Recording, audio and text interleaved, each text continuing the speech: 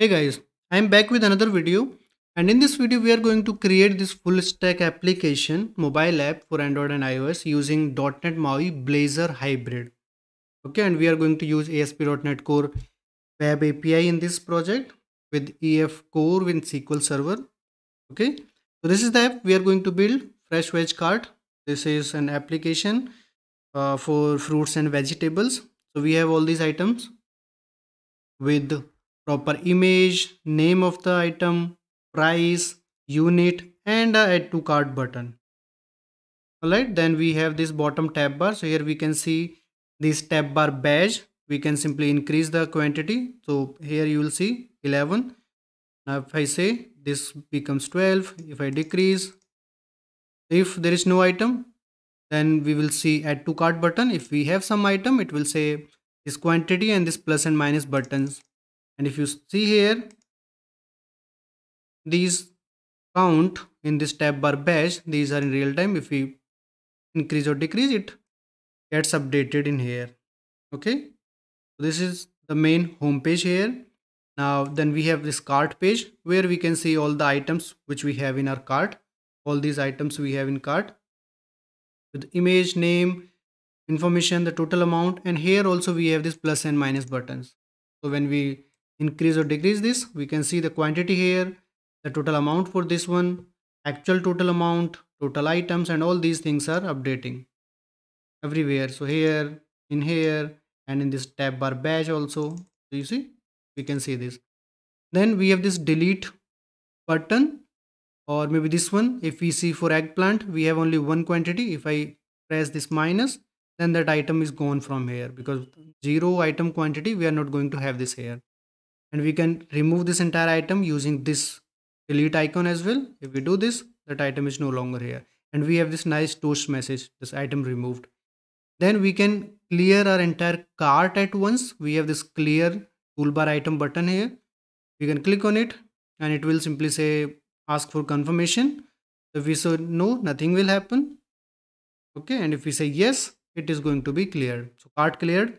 We can see that notification that toast message and then this is the empty cart screen. Okay with this simple. Here also we have view products and we have proper activity indicator. You just show. This is device specific. Okay now the items are not selected here. There is no item selected.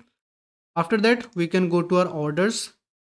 Now because i was logged in for a long time so it we have proper error handling as well. So our jwt token it is expired.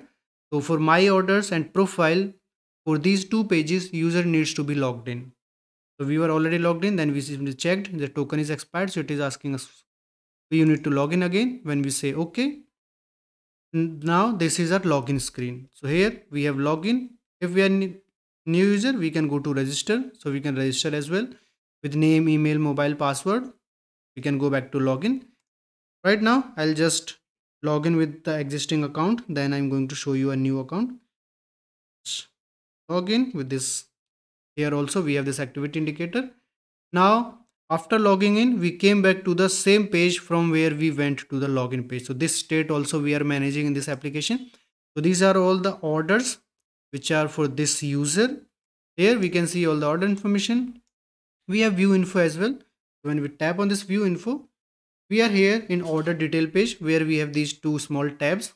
First we are going to have our order information and then we have order items so these were the items be it one this was the price this was the unit this was the total price for this and all these things. You see two broccoli and all these things. Order info and go back. Now we are on my orders. So here we are going to have our orders. Then we have this profile page. So here we have this this is the name of the user. Now this is here this new user. Then we have these couple of options here. We have edit profile if I click on this edit profile, we see we have this nice animated bottom sheet. This also we have implemented. Okay. Here we have update profile. We can modify the user name and mobile number. Okay. Let's change this to let's say demo user. Save changes. We can see activity indicator. Toast message profile updated successfully and here we can see the name is updated then we have change password. For change password also we have the similar bottom sheet with current password new password re-enter new password. We can change this password. Then on logout we have same confirm logout. If we say yes it will simply log out us. And when go back to the home page if we say no nothing will happen. Then we have this manage addresses. If we tap on this we are on this new page. Here if you see we don't have that bottom tab bar because this is an internal stacked page. This back button so we have these two addresses already created. We have this plus button from where we can create a new address. Or here also we have this option from where we can create a new address. And here we have this name address and this is default address. We can have only one default address at a time. Okay? So let's say i'm just creating it. Name of the address let's say demo. The full address. Something like full demo address. And then is default address we can set it to default. Now see we have this my office as default address. I'm going to save this. Now you see demo is the default address because we just added that as default address right? So at a time only one address can be default. If we had already some address default uh, that is going to be removed from there and new address will be default. For example let's say this home address we can tap on it we can edit this. Here we'll say just add make this as default save changes.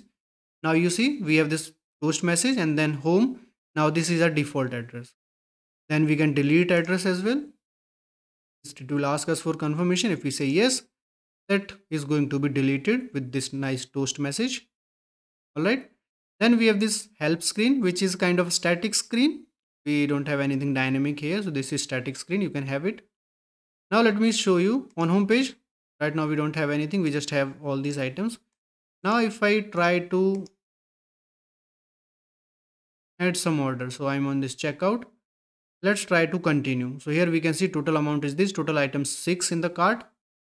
Let's continue. So here it is saying select address. To place an order we need to select some address. Here we have this small manage addresses button. We can tap on it and it will lead us to the manage addresses page come back. Continue.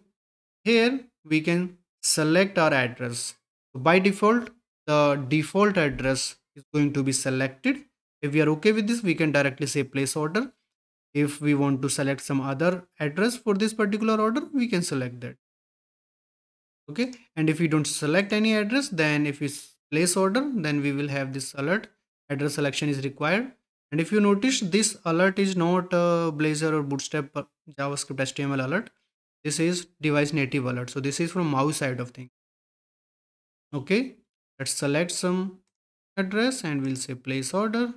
And now cart is cleared. Order is placed. Now if we go to orders here we should see this is the order which we just placed. Info. Here we can see the information. Four items this price this time this was the selected address.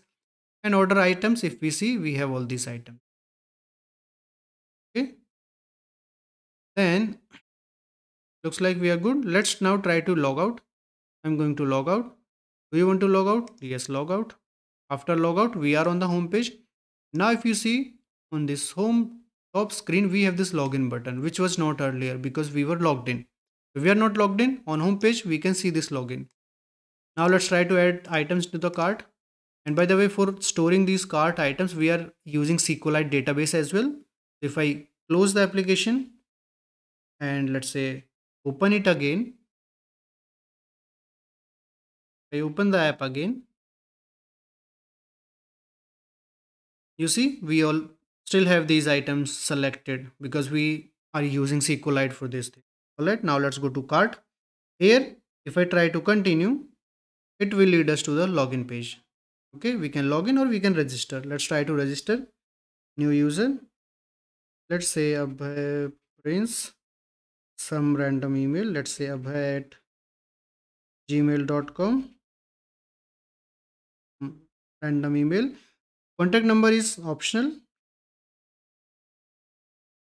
890 we can have anything. Password let's have this register. We are registering user registered successfully and now we are on login page.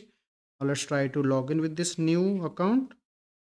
What was that? Abhay did i add gmail.com One, two, three, four, five, six. Let's log in. We are logged in. Now again, we came back to the same cart page, right? If I continue, no address found because we have just created this user account. So we don't have any address for this user. We have this, you did not add any address. Do you want to add an address? If we say yes, it is going to lead us to the manage addresses page. If we say no, nothing is going to happen. And we will just have this. From here also, we can now in select address we are not going to have anything. And from here also we can go to manage address. Now we can add a new address here. And then we can simply place that order. Now let me show you one more thing. If you go to profile log out yes log out now i'm logged out. And now if i go to orders page it is saying login required you need to be logged in to view your orders. Do you want to go to login page? Yes or no? We say no. We will be here but we can't see anything. Same thing if you go to profile page. For profile page also login is required because these two things the orders and profile these are tied with the user. So we need to be logged in to view these two pages. We have this proper validation as well. Okay? Try to log in again by the way we have validation here as well. If the user password was incorrect we will have this incorrect password alert. Set the correct password login and we came back to the profile page. Here we can see our orders. We can see this. And if the token is expired so for that validation also you see earlier that there was that uh, alert message which said lo login has expired. All right so this is the app we are going to build from scratch till end. Do let me know the comment uh, how is this app looking and are you excited for this series? Okay. In this we are going to use this mobile maui application. We have api we have shared project we are going to reuse the things. And in mobile application we are going to have our uh, database as well using SQLite and for API connectivity we are going to use our Refit client.